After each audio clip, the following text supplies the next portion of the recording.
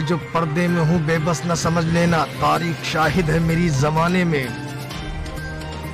कभी फातिमा, कभी चाँद बीबी कभी रजिया सुल्तान भी हूँ जमाने में। हिजाब मेरा, मेरी शान दिखता है। मैं मुसलमान हूँ, मेरी पहचान दिखता है। लाख कोशिश करके देखो, सितम भी कर लो। चंद सालों के शहनशाह हो, कुछ भी कर लो। वक्त एक बार फिर से करवट लेगा। गुम हो जाओगे तुम फसानों में।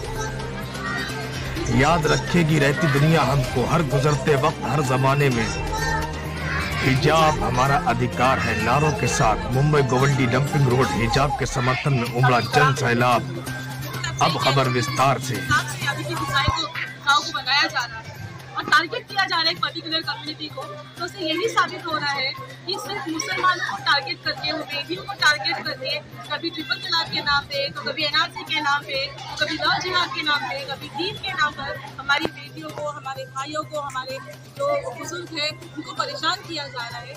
और एक ऐसा ट्रेंड चलाया जा रहा है कि जिससे नफरत के मिजाज जो स्ट्रॉन्ग हो अभी जो हाल कर्नाटक में हुआ स्कूल में वो छः बच्चे चलो आगे जाके हमको तो अपने न्यायालय में पूरा यकीन है। कि ये फैसला जो है वो संविधान के हक में होगा, हमारे हक में होगा। उसके बाद जब वो बच्चियाँ फिर से स्कूल जाएगी, आपको लगता है कि आप फिर से वैसे ही उसी तरीके का माहौल होगा स्कूलों में? वो स्कूल जहाँ पर बच्चे बैठकर आपस में टिफ़िन शेयर थे, रंगों से खेलते थे, आज वहाँ पर रंगों का बवाल हो गया है।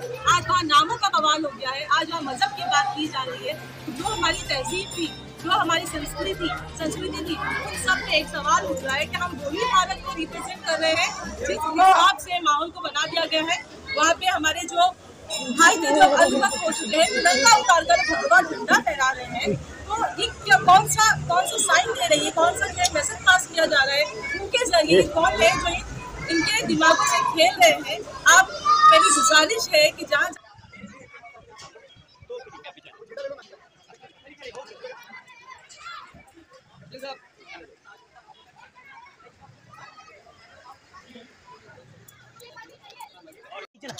इधर देखिए। बस। Okay okay.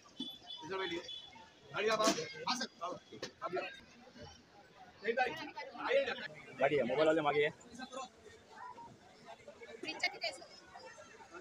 ओके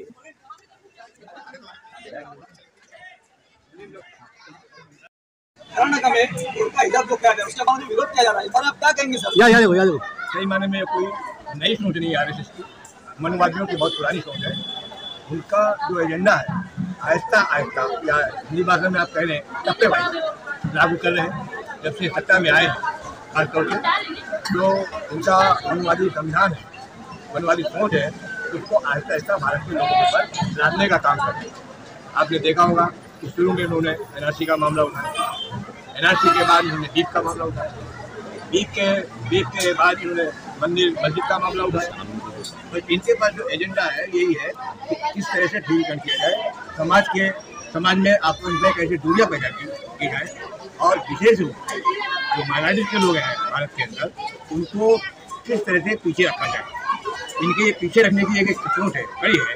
आपने देखा होगा कि दो तीन साल से हमारी बच्चियाँ एजुकेशन के अंदर बहुत अच्छे मार्क्स के अंदर आ रही हैं, चाहे आई पी एस हो आई आई एस के कोर्स हो या दूसरे जो भी इंजीनियरिंग के कोर्स हो, बहुत अच्छे मार्क्स ला रही थी बहुत अच्छे नंबरों से पास हो रही थी क्योंकि इनका आर्टिस्ट वालों की सोच बड़ी गहरी है अध्ययन भी बहुत गहरा है।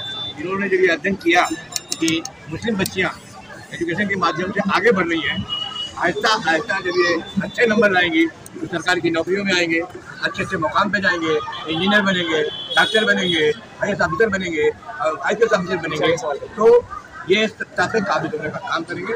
इसी सोच को इसी बात को खत्म करने के लिए इन्होंने जानबूझ करके ये हिजाब की शुरुआत की है क्योंकि पास स्टूडियो में मध्य प्रदेश में चुनाव चालू है। इसलिए खास तौर से इनका ध्यान किस तरफ़ किया गया कि कैसे ध्रुवीकरण किया जाए। इस कॉलेज में आज से एक महीना पहले इधर बच्चियों को आने जाने दिया जाता था हिजाब पहन करके नकाब पहन के बुरका पहन करके एकाएक क्यों रोका गया? ये इनकी अपनी एक प्लानिंग है।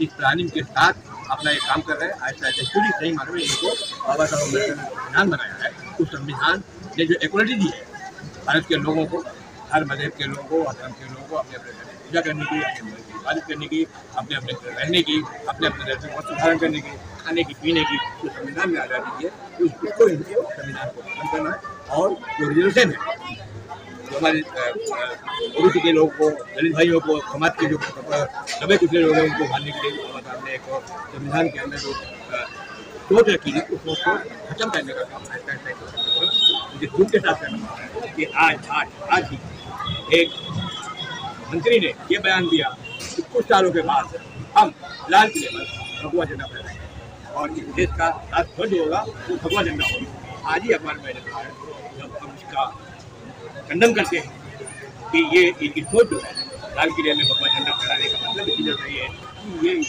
करना चाहता हूँ, हमारी शबाना दीदी को जो मानपुर शिवाजी नगर में इतनी बड़ी तादाद में हमारे मुसलमान लोग यहाँ पर रहते हैं। आज तक यहाँ पर हमने कभी ऐसा देखा नहीं। हिंदू, मुस्लिम, जात भेद हमने अभी आज तक कभी देखा नहीं। हम लोग बचपन से यहाँ पर रहते हैं। आज कर्नाटक के उड़पी शहर में कल एक कल एक निंदनीय घटना घटित हुई। वो संविधान को कॉन्स्टिट्यूशन को शर्मसार करने वाला जो वाक्य वहाँ पर हुआ बहुत ही निंदनीय है। मैं बताना चाहता हूँ उन मनुवादियों को खासकर इन भाजपाइयों को। आप सतर्क रहिए। आज पूरे भारत के लोग जाग गए हैं। समझ गए हैं कि कुछ राजनीति आप खेल रहे हो। जाति, धर्म में लड़ा रहे हो। ये भारत के लोग आपके इस राजनीति में नहीं फंसेंगे। हिंदू, मुस्लिम का झगड़ा नहीं होने देंगे। मैं, मेरे हाथ में आप देख रहे हो। भारत का संविधान ये आप मेरे हाथ में देख रहे हो भारत का संविधान। इस संविधान में लिखा है हिंदू मुस्लिम सिख ईसाई सभी हैं भाई भाई। तो मैं एक बात पूछना चाहता हूँ योगी जी से। योगी जी जब आपको इतना ही लगता है। क्या कहेंगी बड़ा अफसोस हो रहा है मुझे। हमारे देश के प्रधानमंत्री जो आपका जो बेटी पढ़ाओ, बेटी बचाओ ऐसे नारे देते हैं। और एक बच्ची को इतने सारे बजरंग दल के लोगों ने दौड़ाया लेकिन अभी तक उनके ऊपर कोई कार्रवाई नहीं है। और मोदी जी क्यों बैठे हुए तो कहीं ना कहीं ये बहुत संगीन मामला है। और इंशाअल्लाह ये यहाँ पर रुकेगा नहीं हम लोग सड़कों से लेके ये प्रधानमंत्री आवास तक की आवाज़ जाएगी और उन बच्चों को कहीं ना कहीं हम लोग सजा दिला के रहेंगे जो इस तरीके से फिरका परस्ती की बातें करते हैं फिरका परस्ती फैलाने का काम उन लोगों ने किया। एक बच्ची को इस तरीके से दौड़ाना कहीं ना कहीं ये शर्मसार अ, कर देने वाली बात है। हमारे हिंदुस्तान मैडम बीजेपी के एमएलए राजा सिंह ने एक बयान दिया जो काफ़ी निंदनीय है। उन्होंने कहा कि अगर आपको हिजाब पहनना है तो आप अपना इंस्टीट्यूशन कायम कर लो। तो इसके ऊपर आपकी क्या प्रतिक्रिया? ये लोग कौन होते हैं? हम लोगों को राय मशवरा देने वाले या ये लोग कौन? डिक्टेटरशिप हिटलर हो गए क्या ये लोग? ये लोग बाबा साहब अंबेडकर के संविधान को नहीं मानते?